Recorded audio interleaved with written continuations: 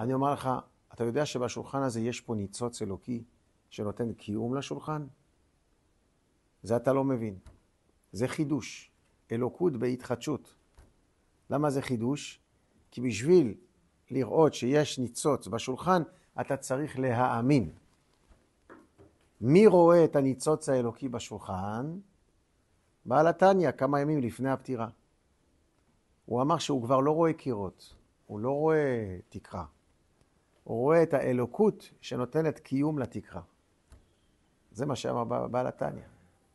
למה? כי הוא היה ברמה של קדושה כזאת גבוהה, שמה שהעיניים שלנו רואות, ומה שהעיניים שלנו לא יכולות לראות, כי זה רוחניות, הוא ראה בעיניים שלו את הרוחניות כמו שאנחנו רואים את הגשמיות. זאת אומרת, הוא ראה את הניצוץ בשולחן כמו שאנחנו רואים את העץ של השולחן.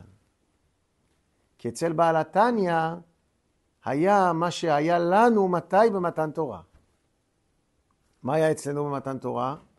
אלוקות בפשיטות, והעולם והמציאות בהתחדשות. כי וכל העם רואים את הקולות.